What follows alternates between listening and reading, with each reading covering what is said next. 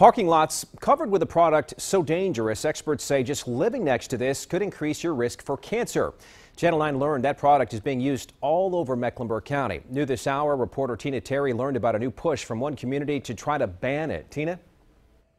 Yeah, Scott, that product, it's called coal tar sealant. Now, it's used in parking lots like this one all over the county to protect them from water damage and also from cracks like this one here. Today, we talked to county leaders who say the product is so dangerous, they want to ban it.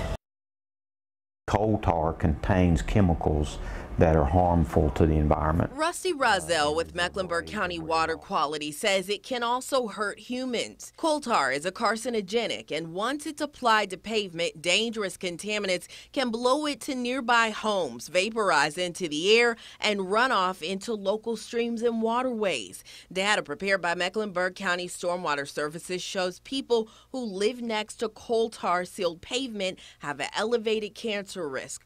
38 times higher than others. It has been found that these PAHs have terrible negative impacts. Olivia Edwards, supervisor with the Water Quality Department, says the product, which protects pavement from water damage, is used on nearly 78% of the parking lots tested in the county. Much of that sealant has washed off into the storm drain. This YouTube video from 2010 was taken after the Watauga Riverkeeper said coal tar from a business parking lot washed into a drain and killed fish in a nearby stream. Leaders in Boone say the event triggered an ordinance restricting the use of coal tar sealant.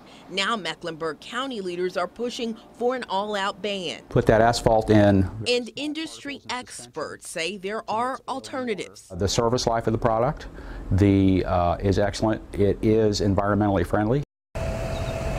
Yeah, this week the town of Matthews approved that ban, making it the first city in North Carolina to do so. Towns like Davidson, Mint Hill, and the county will also have to vote on the ban. We'll let you know when they do. Reporting live from North Charlotte, Tina Terry, Channel 9 Eyewitness News.